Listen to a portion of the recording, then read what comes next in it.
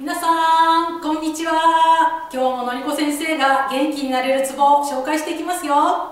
今日は三陰交っていうツボです。はいどうしてこんな名前かっていうと3つの陰の経絡が交わっているっていうところから来ています。ですけれども実際に交わっているわけではなくてみんな3つのこの陰の経絡って呼ばれているものが近くにあるっていうことで実際は足対陰飛形っていう経絡の上にあります。はい、陰の経絡が何かっていうことはねまたどこかでお話をします。今日は三陰交火の経脈だなっていうことだけ覚えていただければ大丈夫です。この火なんだろうって思いますよね。実は中医学とか漢方ではこの火っていうものがものすごく大事です。何かっていうと消化吸収を助けてくれるからです。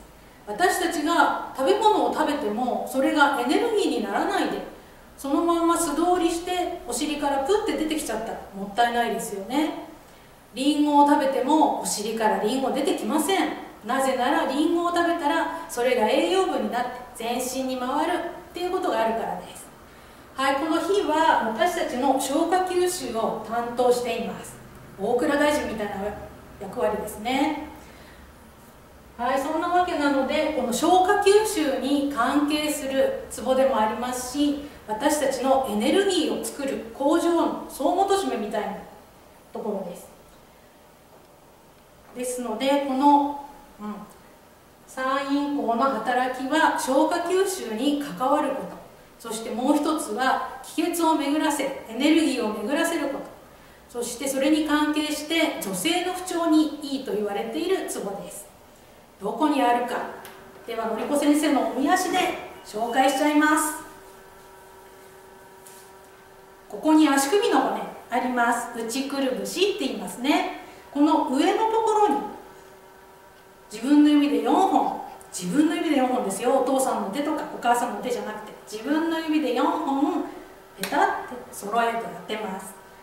小指が一番上のところに来たらこの高さのところで覚えておいてくださいね。真ん中です。そしてここに長い骨があります。硬い長いまっすぐの骨があるのでここに向かって親指を重ねて当てて押し込みます。うーはいここは意外とうーってくる方が多いところです、はい、女性の婦人科の不調がある方生理不順とか生理痛がある方は特にここをギュッと押すとうーってくるポイントです。そんな時にはここを毎日刺激してここにエネルギーを巡らせるっていうことが大事になってきます。位置が分かりましたのでこの親指を当てて12345数えながら押します。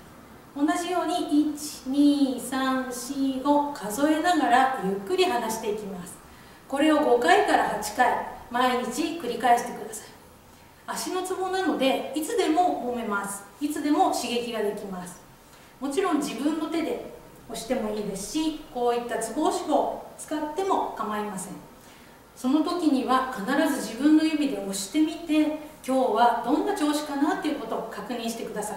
柔らかいかな硬いかな多分毎日違うはずです。電車に乗っていて座っていて暇になったら押してもいいですよ。あとはお風呂上がりにそれからお風呂の中で足を組んだ時に押せるツボです。このツボを巡らせてこのツボでエネルギーを巡らせてそして元気な毎日を過ごしていきましょう。では皆さん押してください。